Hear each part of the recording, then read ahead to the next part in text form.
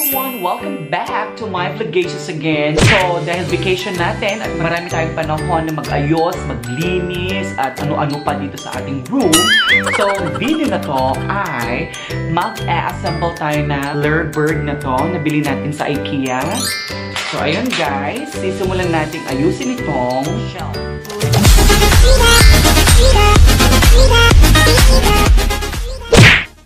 So guys, watch me out kung paano ko itong aayusin ng bonggang bongga. Ayan, let's start!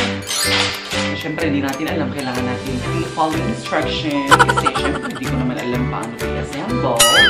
So, number one daw ay ito.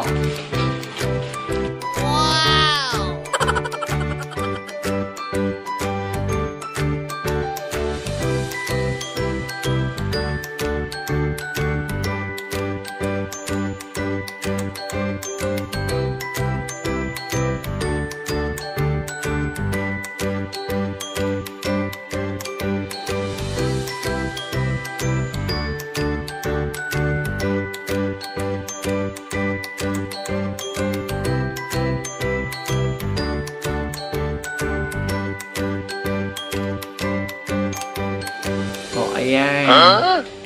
Oh, di ba ang galing-galing kong mag, ano, mag-assemble?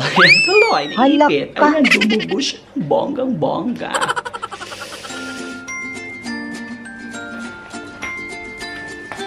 Ayan. Dahil dyan, opa, dumugo. Okay lang yan kasi part lang talaga ng pag-assemble.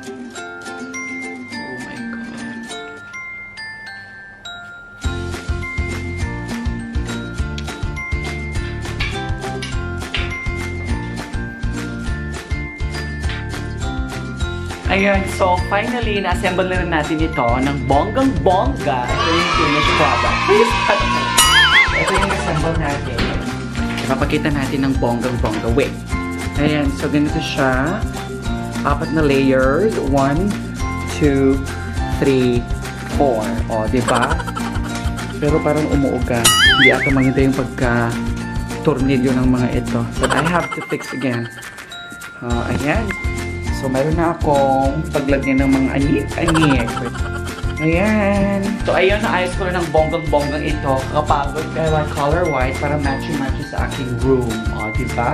Perfect! So, guys, thank you so much for watching. See you again sa aking next Legacious Bongacious. Bye!